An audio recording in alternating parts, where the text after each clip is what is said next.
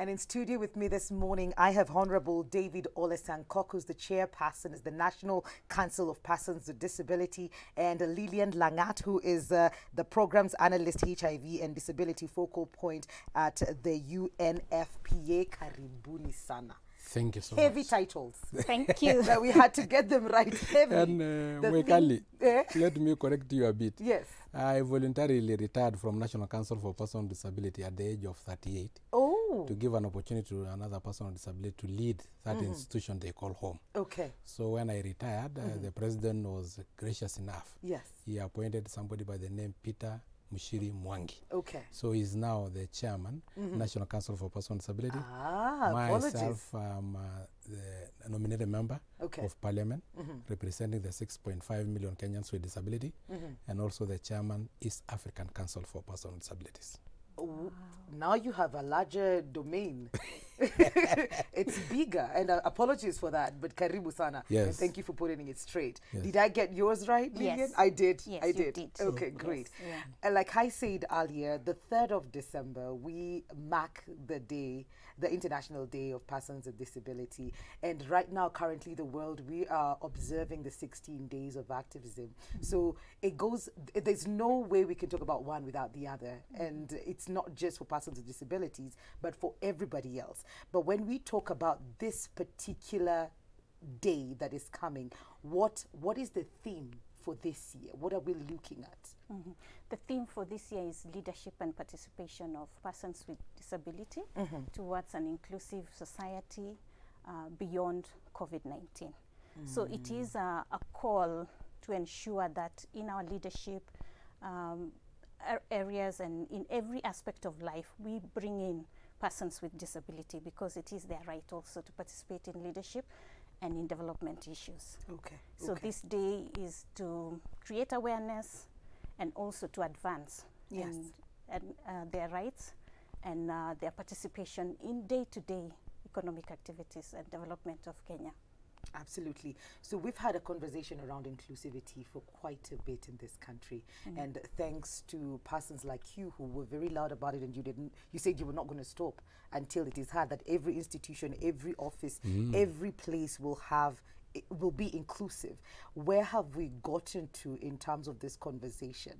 Thank you very much, uh, Mwikali. and I think you'll give me some few minutes, first of No all, to problem. explain to you, Yes, uh, because normally uh, the past is the mirror to reflect into the future. that's true. where we are coming from Yeah. as persons with disability is somewhere that nobody can be proud of because uh, in the past persons with disability were treated as an appendix uh, no function but then exist nonetheless and uh, that is why in our tradition uh, person with disability was like a liability and was like a curse in where i come from the Maasai community uh, birth attendants are given specific instruction to kill a person with disability at birth by giving cholesterol as the first food. It will coalesce in the uh, stomach, and then they will not eat any other food, and then they will die of hunger. Uh, in the Samburu community, uh, tobacco is mixed with water, and then it will be given as the first food. It will perforate the intestine. In northern Kenya, they will throw the child born with disability into a kettle pen, which then will turn to manure. So where we come from, you remember the story of uh, Uganda, where the, la- the late president, Idi Amin Dada, uh, took person with disability in a tipper lorry and hauled them onto the Lake Victoria, where there were a lot of crocodiles. They became food for crocodile. I thank God I was not uh, a Ugandan at that time because I would not have been here. So where we are coming from is where person with disability are demeaned. Is where when you walk in the streets, even children imitate you. They walk like you. Nobody even think about you. Where when we try to get married, it's a hell of a problem for us to get a spouse. But uh, since 2013, when President Uhuru took over, the narrative was changed. There was a lot of benefits that were given to persons with disability. One of them is AGPO, access to government procurement opportunities, which a certain percentage of all government tenders are set aside for persons with disability. We're also given uh, the benefit of importing vehicles duty free. We're also given tax exemption. I don't pay taxes on my salary, if, uh, uh, and so many other persons don't pay taxes. Okay. Uh, and again, uh, sign language became the Kenya third official language, which is examinable in exam. There was a unit in uh, our universities where uh, architects and engineers are taught on accessibility in terms of personal disability. All ministries and department agencies of the government, when they are doing what we call performance contract, there is marks awarded specifically for disability uh, mainstreaming. There is representation of person with disability across the board. I am in Parliament National Assembly representing person with disability. Mwaura with a, is a person with albinism, because we have also to balance our categories as person with disability. Uh, is a person with albinism representing us in the Senate. There is Dr. Chomba, who is uh, a person with uh, vision impairment, who is blind, representing us in the National uh, Gender and Equality Commission as a vice chair, which is also an equivalent of a, a member of parliament. We also have Washington Opio, who is representing it as in uh, the Commission of, of Ombudsman, that is a Commission on the Administrative of Justice. That mean, if, and he's deaf. So even categories of person with disability have been uh, taken care of. In fact, when Uhuru took over, we were number 15 in Africa in terms of disability rights. Currently, we are number one. And we are recognized in the whole world. That is why in 2018, we co hosted the World Disability Summit with the superpower, that is the UK. You can imagine where we are at the moment. Yeah. Let me tell you, Lillian, uh, Mwikali. Yes. Uh, today, it is no longer the issue of hiding person with disability and killing them. It is even people pretending to be person with disability so that they can access this benefit that some of us have uh, gotten. You know, I remember when I was the chairman, National Council for Person with Disability, one guy came to my office, mm -hmm. pretended to be deaf completely. And he was actually signing. He was talking with in sign language. So uh, he wanted to import a vehicle duty free, uh -huh. which was of uh, five million. Yes. So he will have only paid around two point eight million. So he, he saw it attractive. So he pretended, and we had filled all the forms.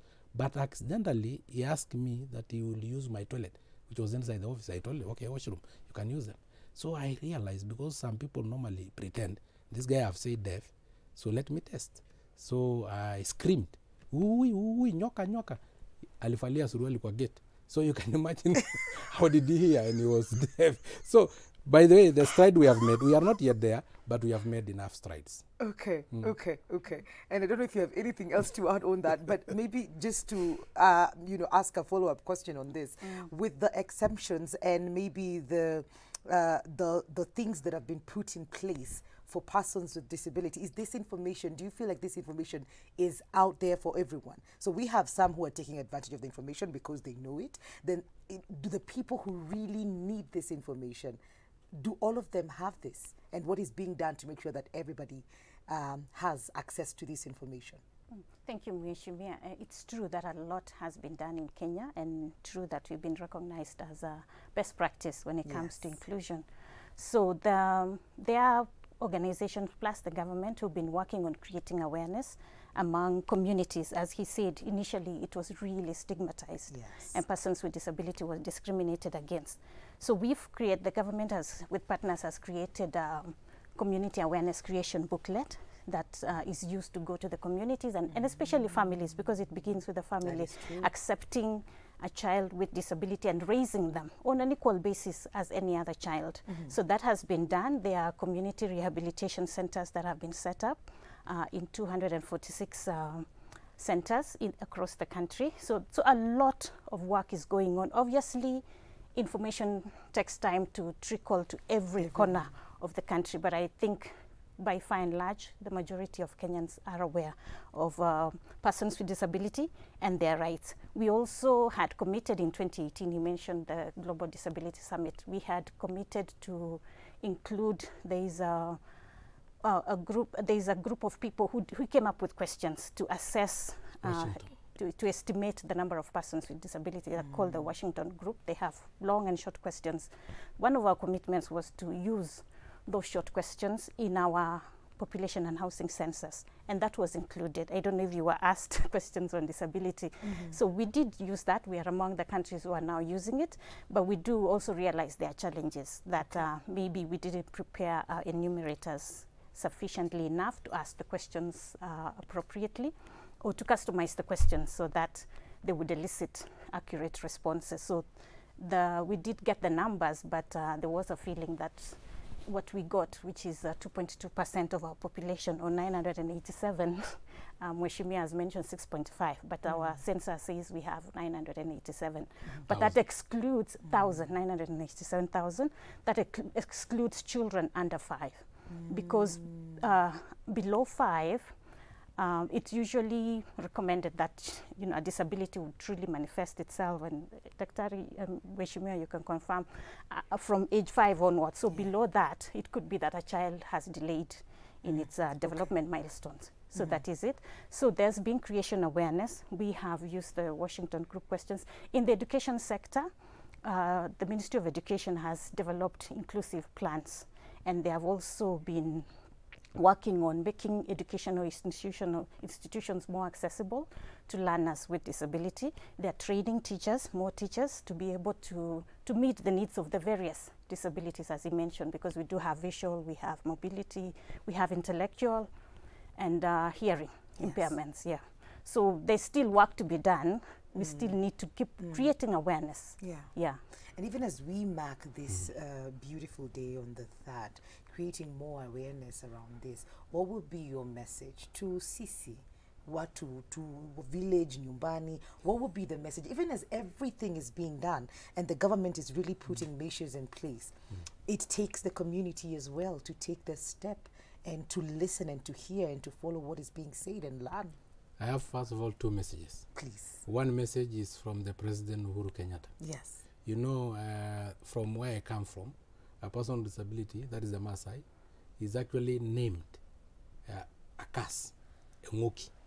So that name, you are either called a curse, that is a ngoki, or you are called orngojene, that is a hyena, because you are limping, or you are called ormaima, that is the seal. You know, you know the Yes, the seal the from seal. the. So you are given the meaning names. Now you can imagine when President Uhuru Kenyatta nominated me to parliament, change the name Ngoki, which is my prefix, to Honorable David Ole Sankok. There's already a message out there that there is ability beyond disability. Disability. Now my personal message to whoever who is watching, Yes. uh, who is not a person with disability, please don't see my disability. See my ability in me. You know, sometimes you so much concentrate on my disability and you don't really see the ability in me. Yeah. And uh, if we can compare, I may be more able than you. Yes. You know, sometimes I meet somebody and he's telling me, uh, mlamavu ama kiwete, you know, some names. Kiwete, kisiwi, kipofu, you know. Yeah. There are Very things that are referred to non-living thing, kiti, kitanda. But when you refer me like that, I also watch you. Probably you scored an E in high school because there was no F. And me, I scored an A because there was no A plus. That's why I went to medical school. So you can imagine, you are actually very able in the field, but you are disabled in class. Yes. So we are all person with disability. We are abled differently. Yes, or we are all person with disability. The mm. degree of disability is the different, and the style Yes. of disability Yes. is where. Because why do you get a C while a person with disability like me got an A?